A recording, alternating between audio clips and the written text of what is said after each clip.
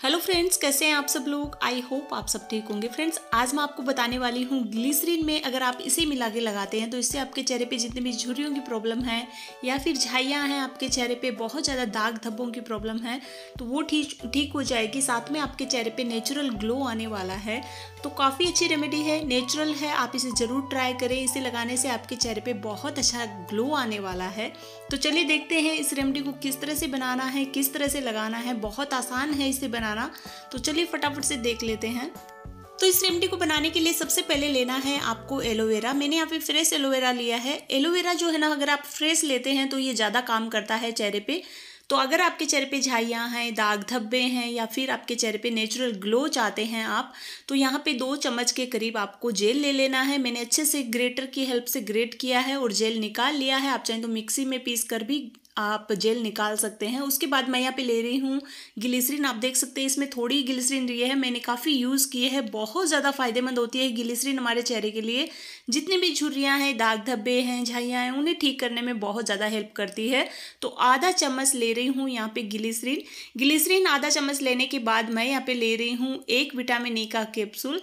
एक विटामिन ई का कैप्सूल जो है ना हमारे चेहरे पे गजब का निखार लाता है, हमारे चेहरे के लिए, बालों के लिए विटामिन ई का कैप्सूल काफ़ी ज़्यादा फ़ायदेमंद होता है। तो एक विटामिन ई का कैप्सूल लेना है, अगर ये नहीं है तो आप इसकी जगह बादाम का तेल ले सकते हैं, नारियल का तेल भी ले सकते हैं। अच्छे से सबको मिक्स करना है। मिक्स करना है, एक से दो मिनट अच्छे से मिक्स करने के बाद आप देख सकते हैं, कुछ इस तरह से ये जेल बन जाता है और ये आपके चेहरे के लिए बहुत ज़्यादा फ़ायदेमंद है। आपके चेहरे पे जितनी भी झुर्रियों की प्रॉब्लम है, वो ठीक होने लगेगी दाग धब्बे ठीक होने लगेंगे। अगर झाइयाँ हैं तो वो धीरे धीरे जाने लगेगी। इसे लगाना कैसे है, वो देख लेते हैं। उससे पहले फ्रेंड्स, आज का वीडियो अच्छा लगे तो प्लीज़ प्लीज़ वीडियो को लाइक करना। चैनल पर नए तो प्लीज़ चैनल को सब्सक्राइब ज़रूर कीजिएगा। बेलाइकन पर भी प्रेस करें ताकि मैं जब भी कोई नया वीडियो अपलोड करूँ, उसे आप सबसे पहले देख पाएँ।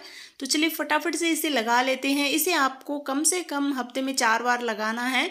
अगर अच्छा रिज़ल्ट चाहिए तो आप रोज़ भी लगा सकते हैं। तो फ्रेंड्स, आपको क्या करना है? अच्छे से पहले चेहरे को साफ़ कर लेना है। उसके बाद इसे लगाना है। पूरे चेहरे पे आपको लगाना है। जैसे हम फेस पैक लगाते हैं, बिल्कुल वैसे पूरे चेहरे पे अच्छे से लगा ले।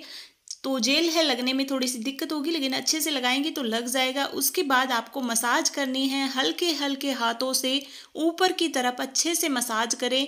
दो से तीन मिनट अच्छे से मसाज करें, उसके बाद इसे ऐसे ही लगा रहने दें। पंद्रह मिनट के बाद अपने चेहरे को धो लेना है। अगर आप चाहते हैं चेहरे के दाग धब्बे या फिर झुरियाँ झाइयाँ ठीक हो जाएँ तो आपको इसे रोज़ लगाना है, नहीं तो आप हफ़्ते में तीन से चार बार भी लगा सकते हैं। बहुत अच्छा रिज़ल्ट आएगा, आपकी स्किन काफ़ी अच्छी होने लगेगी। तो आप देख सकते हैं, मैंने अपने चेहरे को लिया है और इस तरह से आपको लगाना है, उसके बाद कोई भी मॉइस्चराइज़र आप अपने चेहरे पे लगा लीजिए और आपकी स्किन बिल्कुल भी ड्राई नहीं होगी इसे लगाने के बाद। तो आज का वीडियो अच्छा लगा है तो प्लीज़ वीडियो को लाइक करना। चैनल पे नए तो प्लीज़ चैनल को सब्सक्राइब कीजिएगा। मिलते हैं नेक्स्ट वीडियो में, तब तक के लिए बाय